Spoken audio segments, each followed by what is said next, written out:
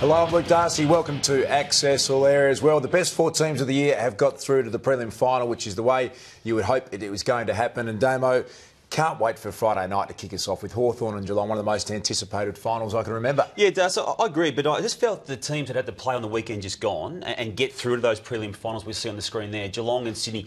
I just felt they're a, a, rung below at least the teams they're going to be playing on the weekend. I know they both carry great clout and, and, great quality of team by both Geelong and Sydney, but I reckon the matchups we've got, Hawthorn and Geelong and Fremantle Sydney, the teams that won the qualifying finals to me are a clear-cut favourite going into those games. Yeah, absolutely. The only caveat to me is just the Geelong uh, hold over Hawthorn. Does it stand up in another final? That incredible record, if it gets close, is there something that's going to happen mentally to the Hawks, uh, given that history since 2008? That was what makes that. I reckon it's finished. I reckon Hawks will just win this game and, and, and easily. You're probably Six, right. seven goals. But the, you're probably right. The intrigue is there for me. Yeah. And there were a couple of Swans players, Damo, I thought were absolutely magnificent in the final. They were challenged last week and they stood up in great fashion. Jarrad McVeigh, we're told he wasn't able to train all week. The uh, skipper has come in and played one of the great finals performances, 42 touches. Uh, just below the record 43 possessions Dane Swan holds in a final. He had 20 in the second quarter. And at that stage, the game was genuinely up for grabs, mm. Damo. He was absolutely incredible. What is it about him, Darcy? He's just so unobtrusive, isn't he, the way he goes about his footy? And when, when this team surged in the mid 2000s, he wasn't part of the initial surge. He, he is getting better with every single game of footy he plays. Yeah, it just reminds me of, uh, of the great Swans players that uh, we've seen in the last 10 years. He's disciplined, he's got great uh, presence about him, he does the right things at the right time. And they've got another one on their hands who we know has had a great year, Dan Hannebery, yep. but uh, it was a really bad medial ligament strain. He, he lost a week for it, but it was probably a four week injury. And then he struggled a bit last week against Isaac Smith a in lot. the first final. Yep. And uh, his performance, again, heavily tagged by Dennis Armfield. He had 14 possessions to Armfield's one halfway through the second half, uh, through, through, the first half, I should say. He was great. It's willpower, Dust, isn't it, to, to do yep. what he did there? He's got bone bruising on, on that knee, and it's, it's quite a serious ailment. But he just willed himself, and you almost knew he was going to do it, given, as you say, the, the flacky cop for his lowly performance by his standards against Isaac Smith the week before. It was a weird matchup in itself, uh, some people were saying about him playing on Isaac Smith, but on the weekend just gone right up in the top echelon of where he was for most of the first half of the Number season. one contested player on the ground he was. Now, the AFL didn't have a great night at ANZ Stadium, Damo, on a couple of uh, fronts, and the main one was the surface. This is an official uh, coming out or a groundskeeper coming out because this just happened, Damo. Every time players ran into this period, this patch of turf on the wing, the rugby league games were played there the day before. They had to high pressure hose them down to get rid of the NRL signs. And it was really dangerous. I mean, how um, an ankle injury hasn't been done there is just pure luck rather than good fortune. This is a massive issue for the AFL, and they can't let it go away. This ground is not up to AFL standard the way they like to have AFL standard. There's a duty of care issue the AFL failed on on the weekend. There's a showcase spectacle that they failed on as well. This is a final of football, AFL style. Showcase game, bad look.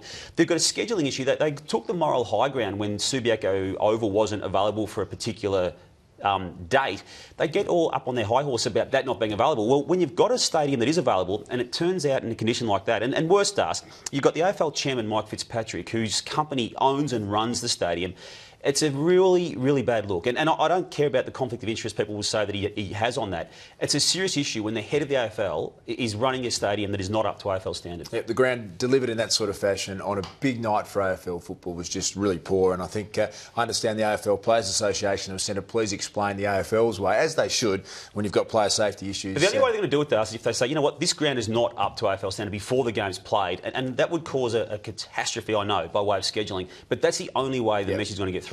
Score review review, Damo, was interesting as well. We've got a big final, and you see uh, a couple of instances where you would have liked, in fact, uh, Chelsea Roffey the goal umpire calls for the score review. Now, I like the fact we've got a camera on the score review, but how about we move that camera to the goal line, Damo, and we can actually see well, there's the missing what camera. happened. There, there's the one. how are you supposed to tell without a goal line camera? We can pay for a goal line camera, surely, by the time the finals come around. This is the second one, too, though. Same thing. Again, the call looks right to the, the naked eye when it happens. So I think they've dodged the bullet again there, the AFL. But it is, it's constant bullet dodging by not having the camera there. Either have the rule in place, yeah. put the cameras in place, particularly for a final. I mean, we, we are playing for, for, cattle stations now, Das. This is not a home and away game. This is the real stuff. Uh, have you seen Carlton's uh, list management Damo? They've gone probably deeper into finals or even got into finals yeah. when we didn't think that was possible a few weeks ago.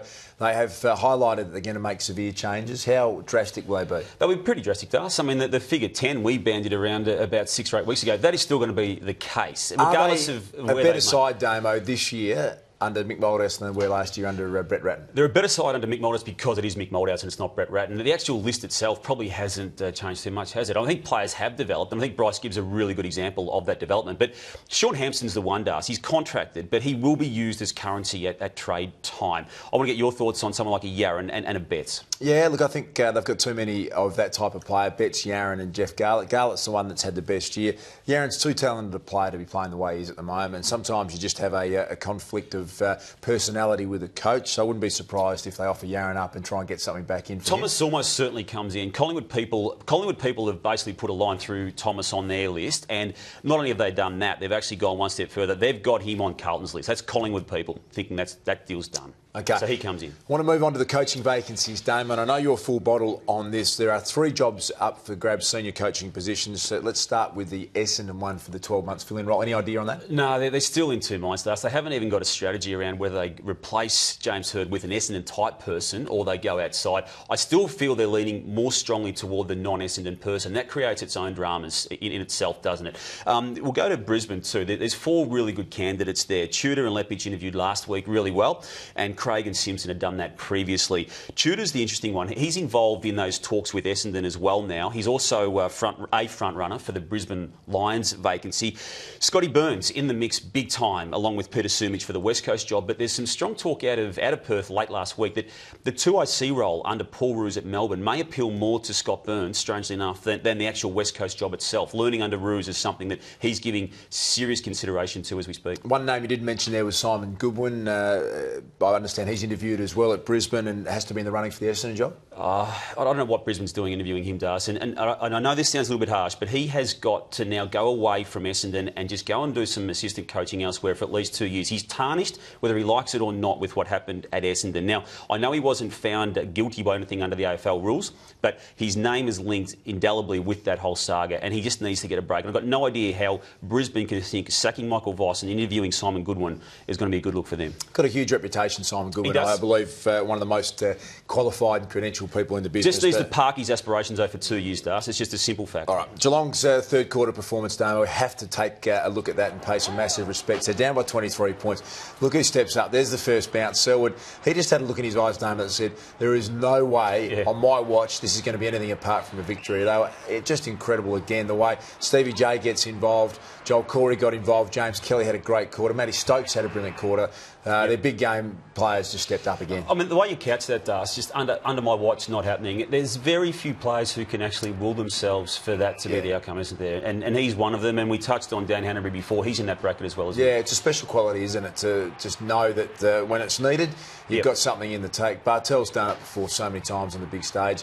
One of the most impressive uh, quarters. They were playing horrible footy before that. Mm. Very few teams have got the ability to flick a switch and do it. There's the numbers. Stokes 14 possessions. Selwood and Kelly were both, I thought, the players that changed it around with their efforts. Stevie J really stepped up. Really well coached, too. I thought what Chris Scott did at half time, changed their forward structure yep. around, got their gun players around the footy, and they did the rest. Now, you just highlighted some midfielders there, Das, or, or, running players. I know you really want to get to the core of what you believe was the reason for Geelong's turnaround. This man, Nathan. I love him, Damo. I absolutely love him. He's had uh, injury issues with his hips that were probably going to end his career. Yep. If he gets a good enough run at it, you're looking at, uh, I think, the most talented young ruckman going around. He just needs a bit of time, but you can just see there he's got the deft touch, he's got the ability to follow up, he's athletic. Started to take a couple of grabs, Damo, as well in this game at big moments when they really needed him. He can go forward and kick goals he's the one. He's the one that I would love to just spend some time with. And I'm not saying me. I'm just saying if you had a, if you had yep. a club that you could build around a young ruckman, he's a man. Oh, he's an absolute ripper, yep. and he's got a massive job this week. He comes up against uh, Bailey, Hale, and Roughead. So for Geelong are to pull off this big victory, a lot rests on young Nathan Vardy's shoulders. Now you speak about Geelong. They're playing Hawthorn, as we've said. Um, if they were to, to fall short of another grand final, would they be underachievers, Das, of the highest order? I know they're hard to win. Premierships are, are yeah. extremely hard to win. Like North Melbourne only won two under the Carey yeah. era, but 2008 flag and nothing since. you'd have to say that. I mean, we're getting ahead of ourselves uh, that they A, get through and B, uh, don't win on grand final day. But with that list and that quality, uh, the home and away wins they've had this year, they're the most talented list in the game. When you've got that, you would feel that another another grand final is something that they probably should achieve as a yep. pass mark, which is a pretty hard thing to say. I admire how they've just got themselves back up there again, yep. but they need another premiership, don't they, for all of them to feel satisfied with what they've got. Hey, Dust, last week you were very critical, and I, I believe, I feel rightly so, on Dustin Martin for his jailhouse salute last week, but he didn't take too kindly to it during the week. Well, it's good to know Dusty's uh, uh, watching for a start, which is great. And I, I, love Dustin, to believe me, as a player. I think he's an absolute ripper. And, and uh, I'm not taking that negatively. Luke Darcy's a Larry. What's what's? Uh, I'll be taking it negatively. Dust. Why would you do negatively. that, Dave? Any number of reasons. I, probably one word I can use there to describe Larry would be tosser. Uh, well, uh, it's funny. We actually looked it up, Damo, and it's loving, wonderful, and kind. And uh, and, I, and, I, feel the same about you, Dustin. If that's the case, you want to read that second line? Uh, very sexy and wild in bed, Dustin. He's done his research and uh, and accurately. No, no, no. Uh, stick with tosser, Dust. You that's, think so? That's what you reckon that's where Dustin's coming from? Probably is. Let's be honest. Hey, yeah, there was an incident I loved on the weekend, and a runner getting got involved. And normally I would be critical of this too, yeah. but when the runner is Nigel Lappin, who is one of the all-time greats, Nige, triple premiership hero, he's just forgotten he's out there. he says, all right, uh, Allen Christensen, high five for you. You deserve it. Great stuff from uh, Nigel Lappin. I reckon nice you, you, play a grand final with a broken rib, you're allowed to do whatever you want you later. You can do anything you like. Nigel's an absolute superstar. Thank you, Damo. That's it for another edition of Access Areas. We'll be back next Monday. Enjoy the prelim finals. Can't wait for them this weekend. We'll see you soon.